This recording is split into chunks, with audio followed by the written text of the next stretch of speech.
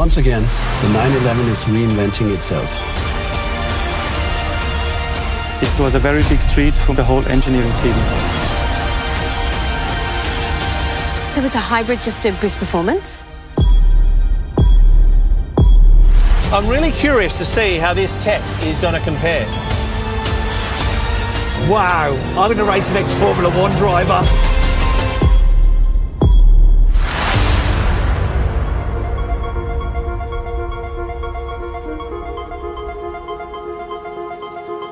Welcome to the world premiere of the new Porsche 911 in Stuttgart. Since its birth, the Porsche 911 has caused a sensation by reinventing itself and repeatedly setting new standards for sports cars with technical innovations, but at the same time, remain true to itself. Now, today I have quite the few special treats for you iconic cars, as well as great guests, fascinating tech, and not forgetting nail biting race action. But first up, we will be talking to Frank Moser, who is the man responsible behind the two-door sports cars at Porsche.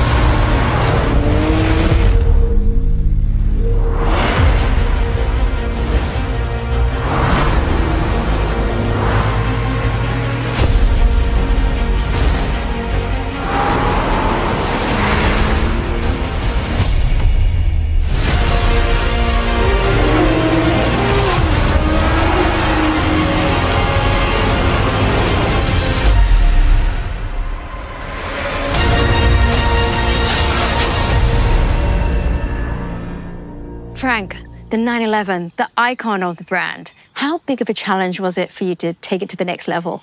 It's always a huge challenge because we need to bridge the gap between shaping the future of the 911 and maintaining as much as possible of the unique DNA.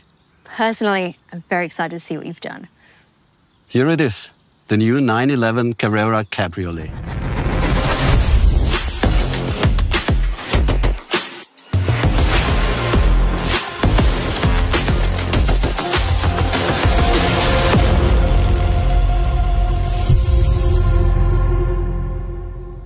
Stunning car.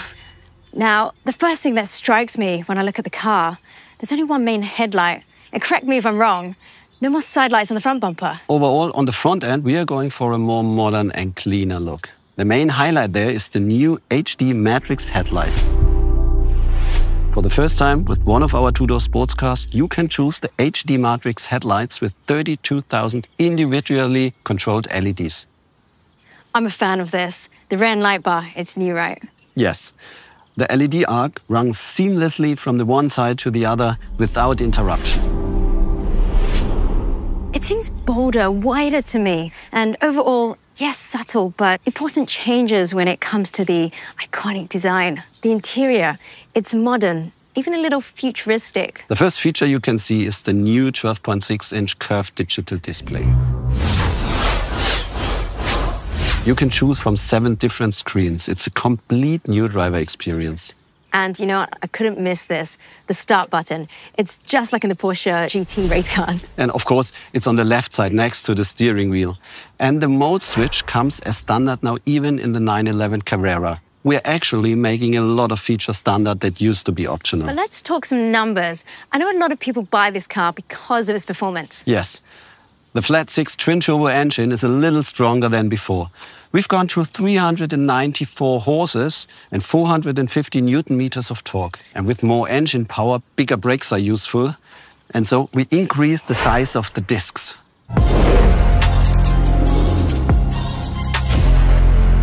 The 911 Carrera Cabriolet, it's an absolute highlight. New technologies have continuously defined the milestones of this iconic sports car. Well, today we're going to add another technological masterpiece to this impressive lineup. These cars embody technological innovations. It seemed controversial at the time, but really, looking back, it proved the foresight of Porsche engineering. Tell us more. This is where the 911 story begins back in the 60s. Instead of further developing the 356, Porsche decided to construct a completely new car, an innovation with 130 horsepower. Incredible power for the time. Well, that's creating an icon to be, right? I mean, this really set the bar for sports cars and their performance levels.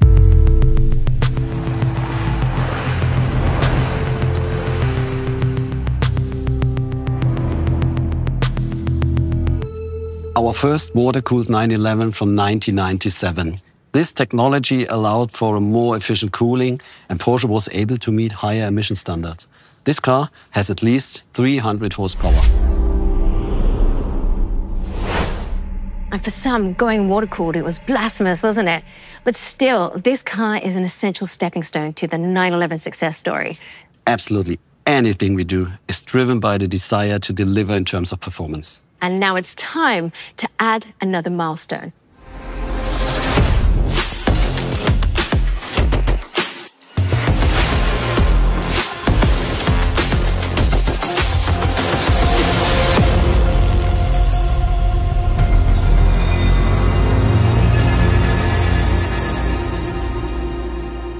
This is it, the new 911 Carrera GTS. It's beautiful. I mean, what a way to present the car. She's great, but quite different from the car we saw just now. That's because the GTS features active aerodynamics. You can see the 10 vertical adjustable flaps here at the front. And look at the wheels. The wheels have the typical GTS central locking system. And the inside, it looks more sporty. Absolutely. It's the typical GTS interior with Race-Tex and the contrast stitchings. I've heard that it's a hybrid car now. Doesn't that add too much additional weight to a sports car? no, absolutely not. It's a very special hybrid, focused on performance, maximum boost, and only very little additional weight. What is the secret behind it? We wanted a solution that really enhances performance while keeping the weight down all while changing the architecture as little as possible so we can stay true to the character of the 911. And how did you do it? In the rear, there's the absolutely new powerful flat six attached to the PDK, which now has an integrated electric motor. In the front, we have a compact high voltage battery. And finally, there's an electric motor in the turbocharger, and that makes it magic. So the hybrid system's not meant to extend the range of driving, but to boost performance. So what's the power output of the whole system? The 911 Carrera GTS has a whopping 541 horsepower, 61 horsepower more than the previous car. It delivers 610 newton meter of torque and has a top speed of 312 kilometers per hour. And most importantly, the weight of the car is 1,595 kilograms. That means only 50 kilo more than before. Those are some impressive numbers, but I want to know more about the hybrid. Thomas Brandl is one of our masterminds behind that drivetrain system. He will give you all the details. Hi, Thomas. Hi, Claire. But tell me, the 911 Carrera GTS, it's a hybrid now. What did you do? The essential innovation is the electric turbocharger on the flat six engine. It can do two different things. It delivers compressed air immediately to the engine to reduce the turbo lag to a minimum. And second, it recovers heat energy out of the exhaust gas to add even more power to the drivetrain. Does that mean as a driver I have to activate it? Not at all. Um, the system reacts to um, throttle and brake only. Um, you can visualize it like a puzzle with the flat six engine and the electric turbocharger, the e-motor and the PDK, and the high performance battery in the front. When the control units put the piece together, um, what you get is a very exciting drive. So it automatically shuttles through the combinations depending on how I put my foot down. Exactly. When you need more power, the system reacts within split seconds, giving you more boost and torque fill up to 150 newton meter for a faster and better acceleration. Of course, we can do mechanical recuperation when the car is slowing down or braking. And my favorite feature is the high performance feature, when you use the turbocharger to release extra energy running on full throttle or even on top speed. Um, so even in this operating state, the turbocharger is able to recover energy, to put it on the e-motor, and um, if necessary, the battery joins in to put even more energy, um, releasing all the 541 horses. Thomas, that sounds like some amazing precision engineering. Thank you for that deep dive. But I've promised everyone for some race action. Unfortunately, we do have Matt Watson and a certain former Formula One driver and sports car world champion who are going to line up the 911 Carrera GTS and go head to head with its predecessor. Thomas, how do you think this will go? Let me put it this way the data doesn't lie. Spoken like a true engineer. Well, let's take a look and see how this goes. I'm super excited because I'm sat on a runway in the brand new 911 Carrera GTS, and next to me is the previous generation 911 Carrera GTS. And we're going to have a drag race to see how their performance compares over the standing quarter mile. So, to give the previous generation model a fighting chance, we've got someone to drive that car who has a bit of experience in racing and racing Porsches in particular. Let's go over to him. Hey, Mark, how you doing? Very good, mate. Very good. So, what do you think is going to happen here? Have you got a chance? I'm born ready, but I'm a bit nervous about what you're in. Looks quick. And so you should be. So, well, let's see how this plays out, right? Yeah, yeah, you've got plenty of experience, but so have I. And obviously, it's all going to be down to skill and nothing to do with the cars at all or the new technology. It's going to have everything to do with it. Yeah, well, you need a lot of talent to drive in a straight line, mate, so uh, you're well versed in that. You're well versed in that. Yeah, let's see who can press the accelerator the hardest. Come on. Three, two, one, go. Three, two, one. Oh, yes! Come on! wow! that hooked up.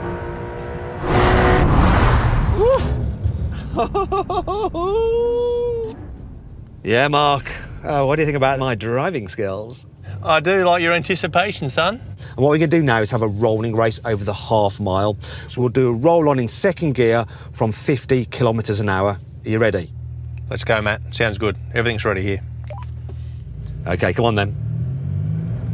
Let's get into second, get to 50. Right, here we go. Three, two, one, go. Whoa! Come on. Oh my gosh! I am loving this.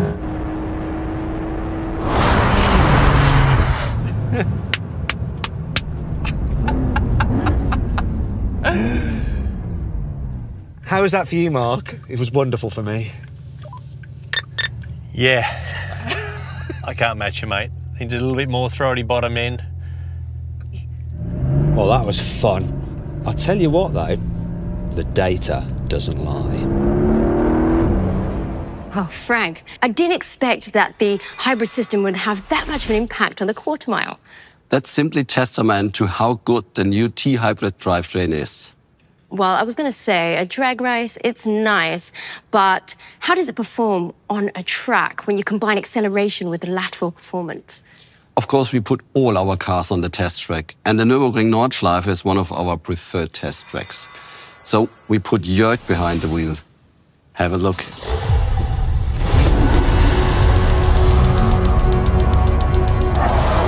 With the hybridization, the response feels almost like that of a naturally aspirated engine. You step on the gas and it accelerates immediately, which is what you want as a driver, especially on the racetrack. The work that the engineers in Weissach accomplish is impressive. What they achieve from generation to generation is a real pleasure as a driver.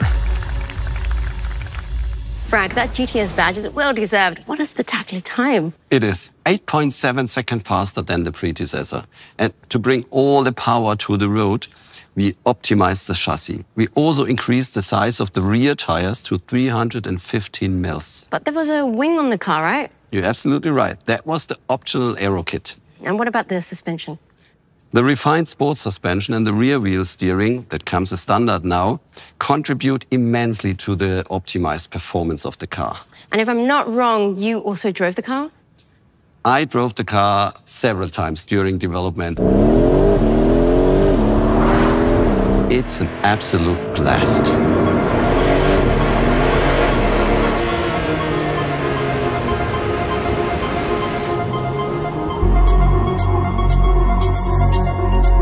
It looks like the new Porsche 911 will be in a league of icons.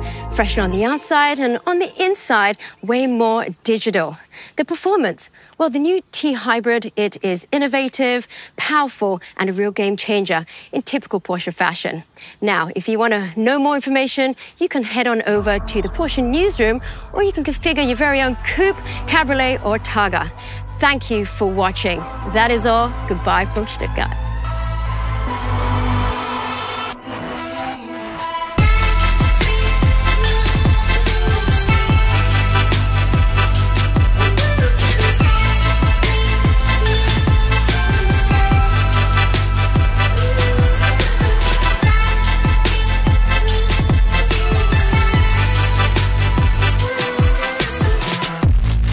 Listen, mate, I mean, I think it's only fair I get to go in the new car.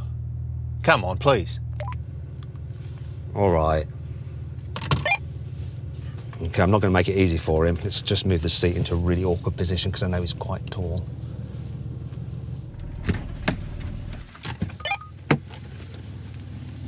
There you go. Good luck. Good luck. Thank you. Thank you. He's even shut the door on me. Oh, what a gentleman. Thank you. Thank you. Come on, start the race. Start the race. Come My- on, quick. Come my on, legs start the cannot race. get in here. Start it. What a combo. Three, two, one.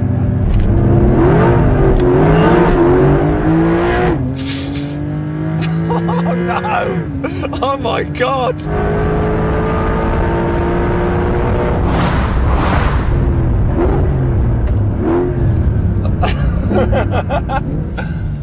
I think I've just been found out. you just took off. I I had no chance. This is quick. Like this is quick, but that that is wow. This is hooked up and departed.